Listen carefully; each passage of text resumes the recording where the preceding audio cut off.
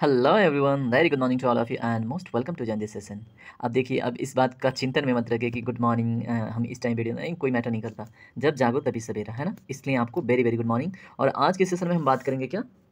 Important जो जुलाई month के डेट एंड डेज़ हैं, उनके बारे में। तो चलिए सेशन स्टार्ट करते हैं और देखते हैं।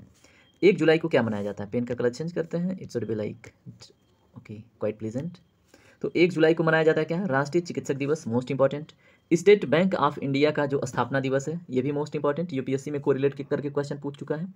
राष्ट्रीय डाक सेवा दिवस, ये भी इंपॉर्टेंट है है ना? जीएसटी दिवस, ये भी मोस्ट इंपॉर्टेंट है। अंतर्राष्ट्रीय फल दिवस। तो देखिए, एक जुलाई को इतने सारे डेट आपको इतने सारे मतलब सेलिब्रेशन डे आपको पता होना चाहिए। यानी कि एक जुलाई हो गया डेट राष्ट्रीय चिकित्सक दिवस मनाया जाता है। एक जुलाई को स्टेट बैंक ऑफ़ इंडिया का स्थापना दिवस। एक जुलाई, राष्ट्रीय डाक सेवा दिवस। एक जुलाई जीएसटी दिवस, एक जुलाई, अंतर्राष्ट्रीय फल दिवस, एक जुलाई ओके चलिए, दो जुलाई को देखिए, विश्व खेल पत्रकार दिवस।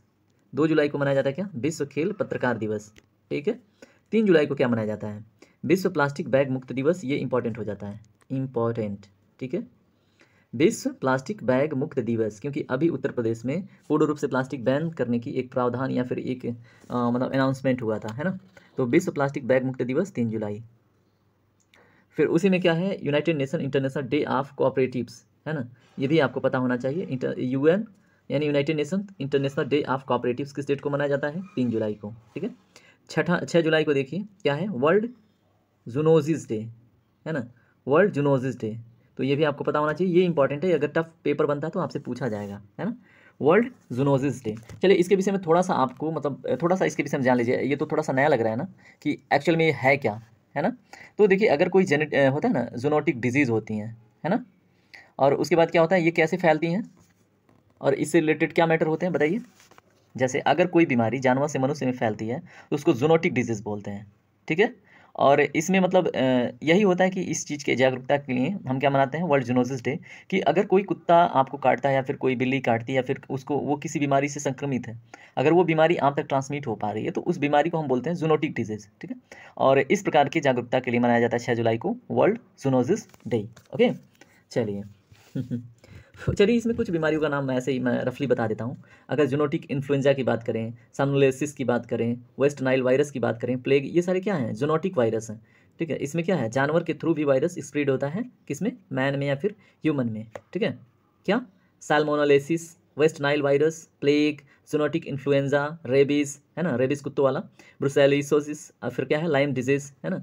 ब्रिसियोलोसिस को आप बताइएगा कि क्या है। ठीक है? ये आपके लिए होमवर्क होगा। चलिए, दस जुलाई को देखते हैं क्या है? राष्ट्रीय मछली पालक दिवस। ये मोस्ट इंपॉर्टेंट हो जाता है क्योंकि एग्रीकल्चर ये भी एक प्रकार का एग्रीकल्चर है है ना? तो दस जुलाई को इसकी जागरूकता के लिए मनाया जाता है। ग्यारह जुलाई को क्या है? राष्ट्र संयुक्त राष्ट्र विश्व जनसंख्या दिवस। ग्यारह जुलाई को मनाया जाता है, संयुक्त राष्ट्र विश्व जनसंख्या दिवस। बारह जुलाई को मनाया जाता है मलाला दिवस, जिनको एक नोबेल पीस प्राइज़ मिला था। ठीक है तो मलाला दिवस बारह जुलाई को मनाया जाता है। और क्यों मिला था उनको नोबेल प्राइज़ आप ये बताइएगा, ठीक है? मलाला दिवस, ठीक है? और मलाला जी के बारे में आपको मतलब इनका पूरा नाम क्या था? मलाला यूसुफजाई और ये क्या थी? एक मानव अधिकार से होता है ना ह्यूमन राइट्स रिलेटेड एक कार्यकर्ता थी। और ये बच्चों के अधिकारों की मतलब रक्षण के लिए मतलब कार्य करती थी, आवाज़ उठाती थी। और ये कहाँ से बिलोंग करती थी? पाकिस्तान से, ठीक है? तो इन्हीं के नाम पे 12 जुलाई को मलाला दिवस मनाया जाता है। चलिए, आगे देखते हैं, अगला पेज। इसमें देखेंगे हम क्या, पंद्रह जुलाई को मनाया जाता है विश्व युवा स्किल डे। तो आजकल युवा में स्किल की बहुत प्रॉब्लम है और इन्हेंस करने की बहुत आवश्यकता है। तो पंद्रह जुलाई कभी भी पुट कर सकता है क्वेश्चन में रख सकता है कि पंद्रह जुलाई को क्या मनाया जाता है, ठीक है? चलिए, आगे देखिए, सत्रह जुलाई को क्या मनाया जाता है? Day of international criminal justice है ना? आईसीजे का नाम सुना होगा day of international criminal justice तो आईसीजे क्या है? बताइए international ICC sorry international criminal court होता है। लेकिन यह क्या है? अगर इंटरनेशनल क्रिमिनल जस्टिस को नहीं सेलिब्रेट करेंगे तो अंतर्राष्ट्रीय स्तर पे जो मतलब इस प्रकार के क्रिमिनल घूमते हैं, है ना? उनमें भय की भावना और फिर इस इस प्रकार की जागरूकता लोगों को पता चले कि हम कहीं बच नहीं सकते, है ना? तो सत्रह जुलाई को मतलब इसके इन्हेंसमेंट में या जागरूकता में बनाया जाता है day of international criminal justice अठारह जुलाई को नेशनल क्या है? नेल्सन मंडेला दिवस मनाया जाता है। कब? अठारह जुलाई को। अब मंडेला जी के बारे में बताइए, ठीक है? अगर क्वेश्चन पूछे कि नेल्सन मंडेला कौन थे तो ये आपके लिए होमवर्क है। और इनको एक मतलब ये कहाँ से बिलोंग करते हैं? और इनको वहाँ पे क्या बोला जाता है? अपने महान एक, इतना मान लीजिए कि ऐसा माना जाता है कि उस व्यक्ति के नाम से ही जाने जाते हैं, जो भारत में चंपारण की क्रांति से रिलेटेड व्यक्ति हैं, ठीक है? आप कमेंट में बताइएगा, इनको दक्षिण अफ्रीका के मतलब ये पूर्व राष्ट्रपति वहाँ के, दक्षिण अफ्रीका में उनको उस व्यक्ति के नाम से जोड़ के जाना जाता है, ठीक है? तो और इनको नोबेल शांति पुरस्कार भारत रत्न मतलब ये वहाँ के हैं, लेकिन फिर भी इनको भारत रत्न मिल चुका है। प्रेसिडेंशियल मेडल ऑफ़ फ्रीडम भी इनको दिया जा चुका है, ठीक है? तो इनके बारे में इतनी जानकारी और इम्पोर्टेंट है है ना? इनका नाम ही इम्पोर्टेंट है, नेल्सन मंडेला दिवस। तो बताइएगा। उन्नीस जुलाई को क्या मनाया जाता है? बैंक राष्ट्रीयकरण दिवस, ठीक है? तो इससे रिलेटेड एक आयरन लेडी थी और उस आयरन लेडी का नाम आप बताइएगा, जो बैंकों के राष्ट्रीयकरण का प्रावधान लेके आई थी। चौदह बैंकों को उन्होंने राष्ट्रीयकृत किया था, ठीक है? तो आप बताइएगा, चौदह बैंकों को राष्ट्रीयकृत किस सन में किया गया था, है ना? और उस लेडीज़ का क्या नाम है? ये आपके लिए होमवर्क है, ठीक है? चलिए, आगे देखते हैं, थोड़ा सा रेस्ट करते हैं, थोड़ा सा आवाज़ वो हो जाए, है ना?